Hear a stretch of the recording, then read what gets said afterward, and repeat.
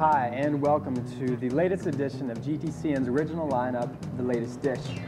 And with me we have, yes indeed, Chef Eric Reed, Mr. Fry Master Flex. My name is Matt, and uh, today we've got a great show. It's uh, We're going to be cooking. What are we going to be cooking? Uh, today we go with the show. We're going to do pan-seared duck quesadillas with Georgia Peach Boy salsa. That's right, Georgia Peach Boy is the name of our movie today. It's pretty unusual. It's about an unusual mother, unusual child. If you didn't check us out last week, you definitely got to stay tuned this week because we have some gourmet food and some great flicks, so stick with us.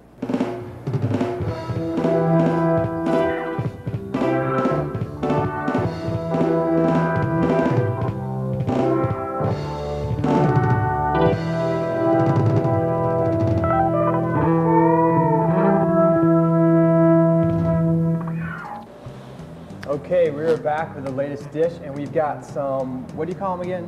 We're doing pan-seared duck quesadillas with Georgia Peach Boy salsa today. All right, Matt. it's got me hungry. Let's go ahead and get started. What kind of prep do you have to do to get this Okay. together? Well, ahead of time, what I went ahead and did is uh, shredded our lettuce, which is going to be a finishing touch on our plate. Got some lettuce, Got a little sour cream, which is also going to be a finishing sour touch. cream. And guacamole, another one of the finishing touches. When are we going I to begin? love guac. Yeah, he's been eating this stuff all day. Uh, we got some shredded jack cheese that we're gonna put inside of our flour tortillas. So the, one of the first steps that we gotta do today is we gotta sear off our duck. And I was talking to you, Matt, earlier, we can use chicken, we can substitute this with beef instead. You can even use ground beef if you want. It's up to your preference. If you wanna do vegetarian with grilled vegetables or something, it's, uh, whatever you guys like to do. But we're doing duck today, so let's go ahead and get that seared. Sounds good. Sear off our duck. What does that mean? What it's searing is, is actually we're gonna brown it off, Mm-hmm. not using any oil, just using the natural fat off of the meat, especially duck. Duck's a really real fatty. fatty item. Yeah. Yeah, so actually we're gonna end up pouring off the excess grease, medium, uh, medium time through the cooking process. And the searing actually seals in the juice and causes caramelization, so it's gonna get a nice brown color. Caramelization, that sounds pretty fancy. Funky, yeah, we're chefs, we love to say that stuff. So this stuff has been sitting in some herbs and spices, Actually, it's been sitting in a marinade, marinade.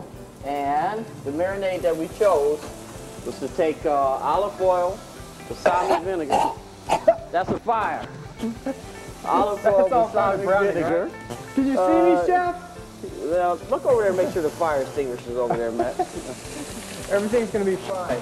Uh, fresh herbs, olive oil, balsamic vinegar, and um, you can also pick up marinades in the store like Mojo marinades. Yeah. Uh, McCormick has different blends of marinades, and you would get something geared towards southwestern flavor. All right, so we're browning this. What's Okay, next? you get this seared off real good. Go ahead and get it turned. You see a nice color on there, or caramelization. Well, that's hot. And it's a little warm. The pan's gonna have to be about 350 degrees. And the best way to tell how hot the pan is, is if you come over while it's hot, drop a couple beads of water on the pan, and when they start beating up and dancing across the top, it's hot enough. All right.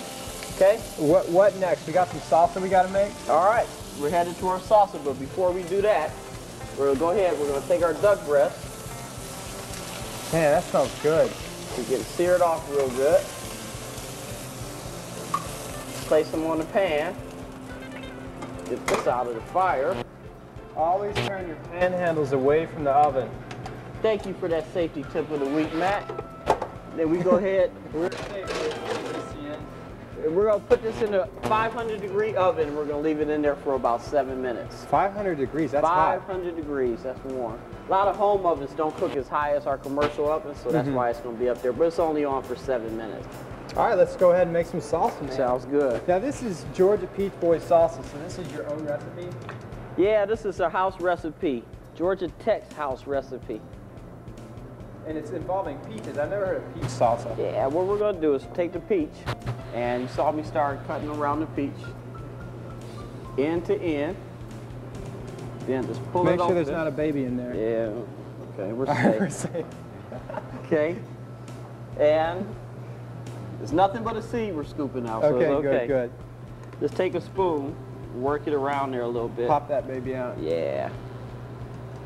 They Chef, always- do, do I get to cut today? Last week you wouldn't let me cut.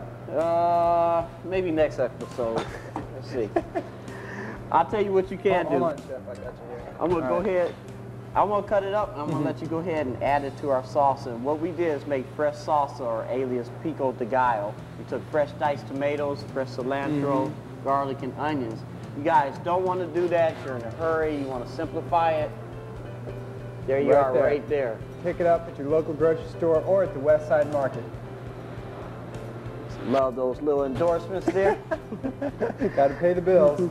All right, you're cutting this up. And we're going to be adding this into an original, like, tomato-based Yep, salsa. it's uh, Roma tomatoes, fresh cilantro. It's real funky. Cilantro adds that real crisp taste to the yeah, salsa, that's right? the, the air of Southwest. That's that flavor there. So why are these peaches not fuzzy? Why are these? This is the time of year that we're getting them right now. Actually, this is probably the worst time of year to get it, but this is when we were showing this film, so we had to do what we had to do. They smell great, though. All right, hopefully they got a good flavor to them too. And I'm just gonna get this diced up a little bit, and if you want to add it to it, All right, I'll chef. leave a little chunks, get a little color in there. We're going to add this to there. Can I stir it, chef?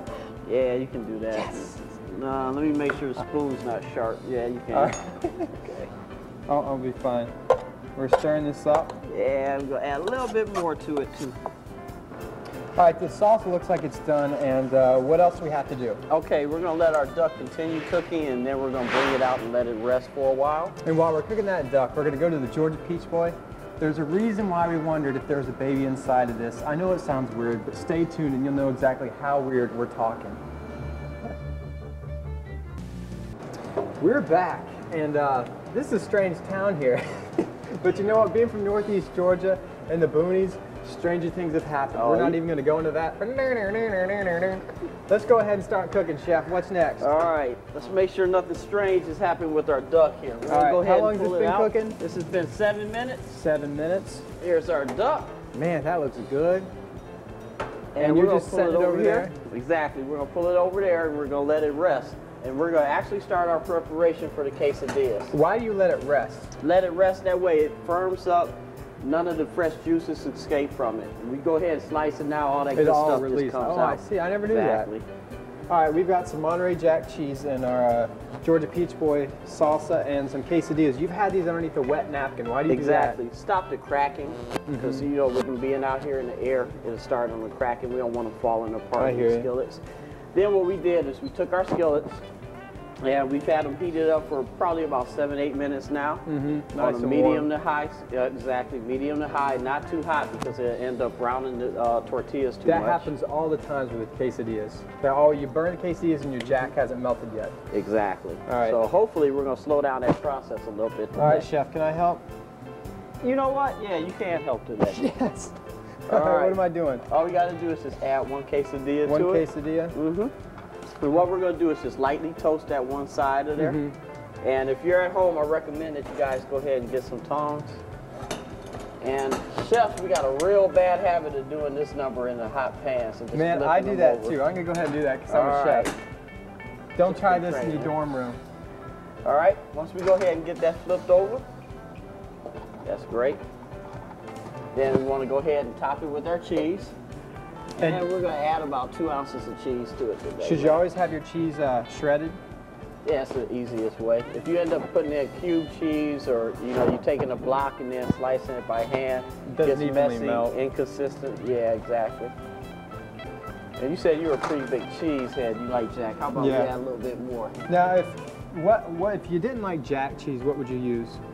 If you didn't like jack cheese, you can use Colby, you can use cheddar in here, and you can use a combination of them. Mm-hmm. If you want it a little spicier, like a jalapeno jack, something like that, make it a little funky, that's cool too.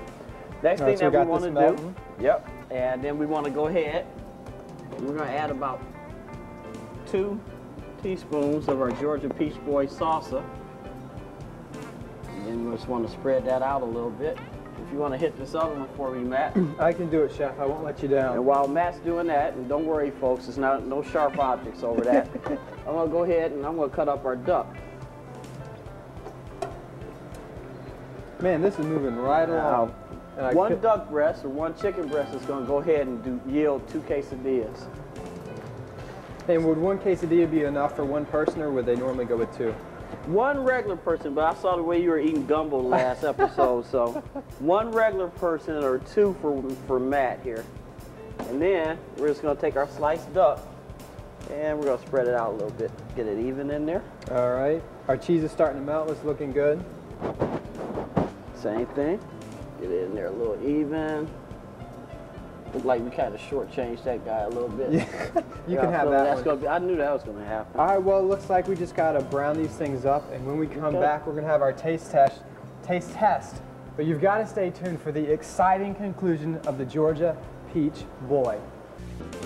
Man, I love happy endings, and I'm excited, even more excited about the happy conclusion to our baking and cooking extravaganzas today. Let's get these things cut it up, cut it up, and serve them up, chef. All right. Back with our quesadillas. I'll tell you what we're gonna do first, Matt. We're gonna get a little garnish to go along with this stuff. Presentation, presentation, presentation. We're gonna add a little bit of shredded lettuce. Let's get a little bit of sour cream here. Is that low-fat sour cream? Oh yeah.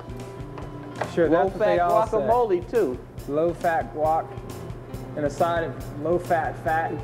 Low fat fat back to go in the case of quesadilla. low fat fat back. Eat till your heart's content. We're gonna put a little bit of our Georgia Peach Boy salsa too here. Okay, we're gonna nice. pop over to our quesadillas, and you guys can leave them whole, but for today we're gonna choose to cut them. And we're gonna cut them in three, just like you were cutting up half of a pie. Chef, these are very good. Thanks, Matt. Well, I'm talking with my mouth full. I was a little bit skeptical about the peaches and the cheese thing. I didn't know if it was going to work, but it came together. It looks like we have another fabulous show under the belt. And uh, always check us out with the latest dish every week. And uh, if you want to check out our recipes or you want to know the recipe to some of your favorite dishes, check us out on the web, www.gtcn.gatech.edu forward slash latest dish. That's all for this week. We'll see you next week. I'm Thanks, gonna start guys. eating.